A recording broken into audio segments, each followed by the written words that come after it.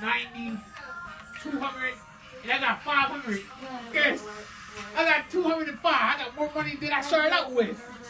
I got five dollars. No, I started out with 200. Now I got 205 because I won the $15 extra on blackjack. It cost um, cost cost me twenty dollars to play.